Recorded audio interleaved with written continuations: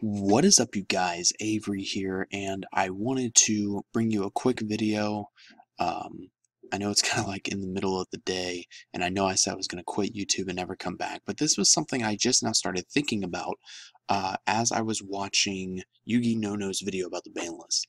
And granted, it was a skit, so he may have been more or less joking around, but it's it still kind of struck me as an interesting claim uh, in his skit at the beginning of his video talking about the, the January 2018 ban list, he says that we may not get a ban list until after uh, Flames of Destruction, whatever the new set's called, has been out for a while. And the sneak peek is this upcoming weekend, January 27th to the uh, 28th, if I have my dates correctly. Now, Konami has obviously promised on the ban list page that the next update after this will be no sooner than January 2018. Now, what struck me as interesting is that if people are going to start thinking, or if Konami plans on not releasing a ban list until Flames of Destruction has been out for a little bit, that's going to lead into February, which would honestly, to put it bluntly, would put a lie on Konami's part. It would make them look like that they're lying to the consumer. So I got to wondering about this, and I looked up the definition of false advertising. Now, false advertising is the use of misleading, false, or unproven information to advertise products to consumers or advertising that does not disclose its source and then one form of false advertising that a product has a health benefit or contains vitamins or minerals that it actually doesn't, and then blah, blah, blah, blah, blah. False advertising can further be classified as deceptive if the advertiser deliberately misleads the consumer as opposed to making an honest mistake. Now, that last sentence there really strikes me as interesting because, as I just said, a false advertisement can further be classified as deceptive if the advertiser deliberately misleads the consumer as opposed to making an honest mistake. Now, of course, Konami could come out and say, oh, we made a mistake. We forgot that we were supposed to release it in January and blah, blah, blah. They can make all these bullshit excuses, which is what they probably would do. But what is the point that I'm getting to this? Let's just get right to the chase, you guys. I can guarantee to you, if we don't get a ban list in January, some schmuck some putz is going to want to file a lawsuit to Konami for not giving us a ban list in time. However, the part that I think is interesting is that if a person were to do this, if we don't get a ban list in January, like Konami promised us, they might actually kind of have a leg to stand on. Now, I did more research into this and I looked up can you sue a company for lying to you? Now, the story that this person has here, you can pause the video and read it for yourself. I just kind of skimmed through it, but basically, this guy bought a book from a bookstore and uh, the store wouldn't let him return it. He called customer service. He was able to finally return the book. However, due to copyright laws, he couldn't return the book. Now, obviously, this is a much different scenario, but the whole point that I wanted to look this up for was if a company lies to you, whether it be through an advertisement or through their website, no sooner than January 2018, Konami, let's say we hit February 1st, we still don't have a ban list, could someone actually write up a lawsuit to Konami saying you did not promise me something for your game? You did not promise me a quote unquote product, so to speak, if we are going to look at the balance as part of a product of the Yu-Gi-Oh! trading card game.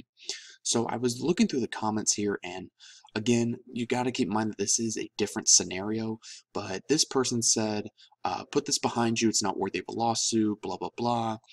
Um, you cannot sue them for lying to you since you believe what they told you was a lie. You were not deceived in any way.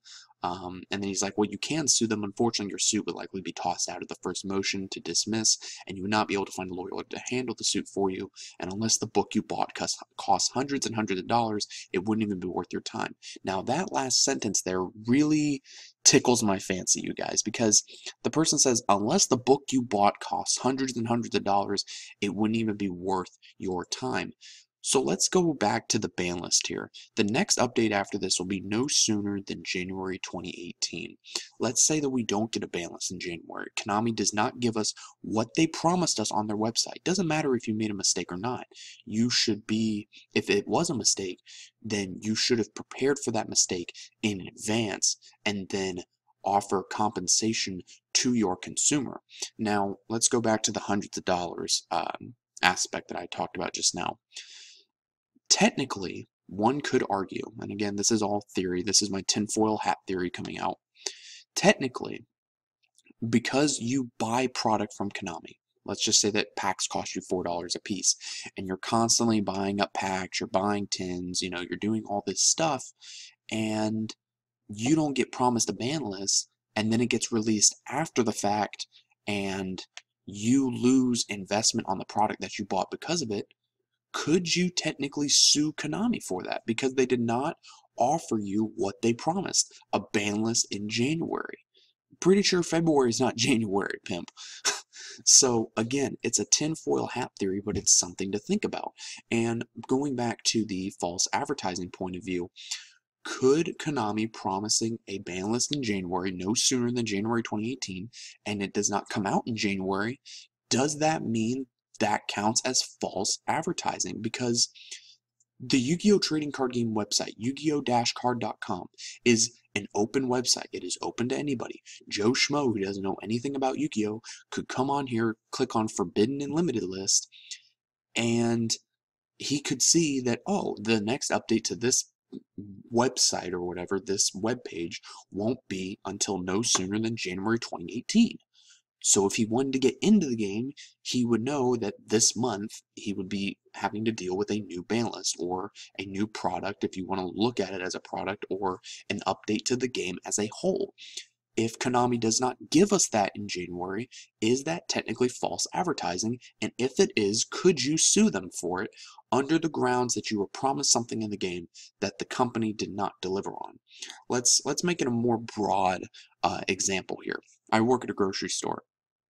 Let's say you come into you come into the grocery store I work at, and you're looking for I don't know, um, eggs. You're looking for uh, a dozen. You're looking for a pack of a dozen eggs, and we say, oh, we're gonna have those in no later than seven days from now. No later than seven days. So let's say you come in um, all seven of those days for whatever reason. You come in all seven days. We don't have it. We come in on the eighth day and we have it, and you get mad at us. Sure we could say oh there was an error. We were off by a day. However shouldn't the company prepare for errors like that? Shouldn't they at least tell you in advance, oh, hey, we might expect a delay. Konami has not done anything like this, and it's almost the end of January. It's day 23 of January. They only have basically a week to give us the list. So are they really going to wait until after the sneak peek, right at January 30th, to give us the list? I mean, if they are, then yeah, they're just assholes to wait until the end of the month. But, I mean, if they wait until February, then they've lied to us.